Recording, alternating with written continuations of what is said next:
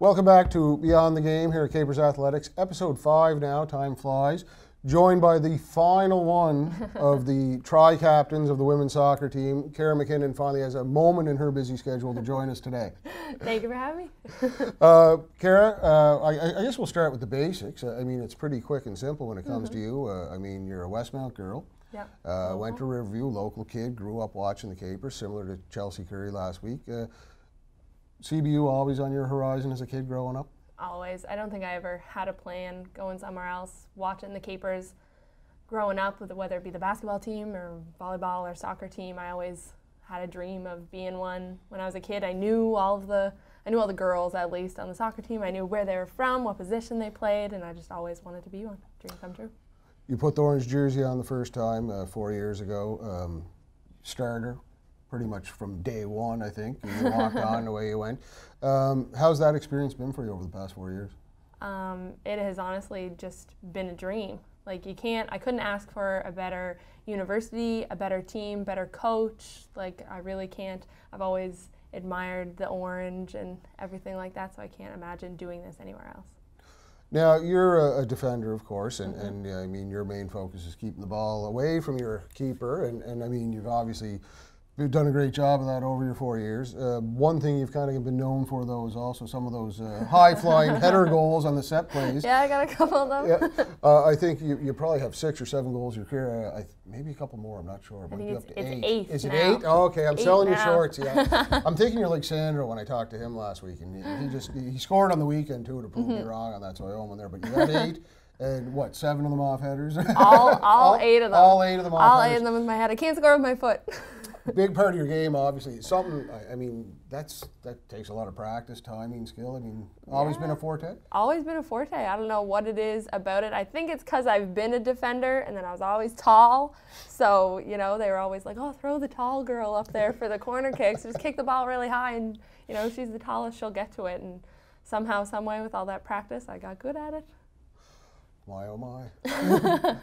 uh, business student as well, uh, BBA, mm-hmm. graduate this year. Uh, got a great future ahead of you there too. You already yeah. have some offers on the table, from what I understand. Uh, I have already accepted a job actually in Excellent. Halifax. Yeah. Heading away from the Cape. I oh, know. sad to know. Big change. Big Are we change. allowed to say where you're going? Uh, I think so. Okay. I, I accepted a job at KPMG, mm-hmm. so one of the biggest four accounting firms in the country. That's always nice to know in yeah. uh, September. yeah, I got the offer in August. So either way. Did they want you to skip your last year of soccer? no, gotta no, You gotta get gotta that degree. Get the degree. yep. Uh, academic all Canadian as well. Mm-hmm. All three years you've been here up to now, and I'm sure you'll finish that way as well. That I, I know is a big part for your family and you as well. That uh, mm-hmm. that's always been a goal of yours. Uh, academics at CBU lived up to your expectations. Yeah, honestly, I can't. Um, I can't complain whatsoever about all of the classes and everything that I've had. The profs in the business school are just amazing. You know. Um, they are very supportive of athletics as well, and then they're just great. Like student professor relationship is amazing. Now, uh, looking at the season, uh, you mm-hmm. guys had a, a, shaky start that first game with UNB, got mm-hmm. the bugs out. Since then, it's been firing on all Man. cylinders. Uh, I mean, what do you have? Yeah, since? we're unstoppable. 17 goals since the first game in their next three. I think you've outscored your opposition 18-1. For 18 and 18 and 1, yeah. yeah. So, uh, what changed? I mean, everything just. Have you had a start to the season like this before? I guess is the first question. Um, I don't know if we've had a start quite like a, a banging start like this. Mm-hmm. I mean, the tie was. I think we were happy with the tie because it was a little shaky game for anybody who got to watch it. Um, and after that, we've just been rolling. I think we just hit our stride, and there's nothing stopping us now. You guys had that long streak, uh, undefeated streak mm. in the AUS, uh, going back what a couple years. Yeah. And it got snapped at UNB last, last year. year. And I know that was a, a, an issue with the girls. They wanted to get that running again. Uh, regular season.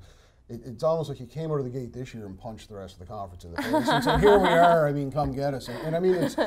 I mean, eight, 18 goals in four games in women's soccer is quite impressive. It's pretty big, I know. And they've been coming from everybody. Yeah, that's what I love about it. Like we don't have just one or two people who are scoring. I think there's probably like six or seven girls now on the team that have oh, scored a goal, which is amazing. I love that, you know, everybody thinks maybe Carolyn Blaine's going to be the one to score, so they try to shut down Carolyn Blaine. We got three other girls right behind her that can score. Probably one of the most balanced teams I've seen in your four years. Yeah, our bench is really deep. And you were part, of course, an AUS championship team in your 2nd year, so years uh, ago. you know what it takes to win. I do. I was that uh, even my first year, we went undefeated. Second year went undefeated, and then got the uh, got the win at the end. So I'm really hoping for another one. Uh, Saint FX this Friday Mm-hmm. in Antigonish. Uh, I talked about it with Mark Stewart from the men's team earlier. That's always a tough game because it is our traditional rival. Yeah. And then back home right away on Sunday with Acadia, Acadia. who as of right now, heading into the weekend, we're, we're taping this earlier in the week, of course, is undefeated as well. That could be Mm-hmm. a first place showdown. I know. I'm excited for it. The, us and Acadia, or us and X, is always a good battle just because of the rivalry. But this year, the women's squad from X is really good. There'll be good competition. Um, but the game against Acadia is going to be the battle, I think, of the season. Always nice on a Sunday in the Cape, nothing better to do. um, I'll, I'll drift away here for a minute. Uh, we, had, we had talked about uh, different things, and I know you know the question's coming because everyone knows the question's coming now. It- it's Now obviously bus chatter and residence chatter and this and that. Um, uh, I don't know if I should ask you first or I should talk about that. Yeah, go ahead. What? Tell me something that we don't know about Karen MacKinnon. You're a four-time academic, three-time academic All-Canadian. You've been a starter on this team forever. You're obviously a defensive force and a, and a captain, a great leader. Um, everyone knows that, Karen MacKinnon, and, and I'm sure everyone in Cape Breton knows a lot more. But what's something we don't know? Um, something that most people don't know, my team was lucky enough to discover this weekend, is that I have a phobia of birds. A bird phobia. It's really weird. Some Alfred and I can't. I can't explain it whatsoever, but I have a, a phobia of birds. Now, when you say phobia, like just uh, if you see one on the windowsill, are you kind of losing it, or they have to be close to you? Um, all, every and all kind of birds, I swear. It's really more if they're around me, like swarming. I don't know. I can't do it. Now you're walking to the car in the parking lot out here, and there's a bunch of pigeons roaming Yeah, around. I'll I'll take a longer way around if there's birds. Now I wouldn't have guessed that. I mean, uh, uh, tough nose defender.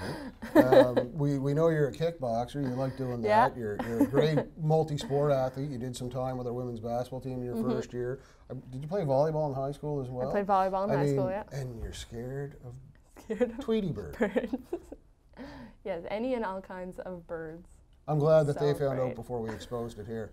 Kara, it was great seeing you. Thank Thanks you. for coming by, and best luck the rest of the season. Thank you very much. I look forward to it. Catch us next week on Beyond the Game.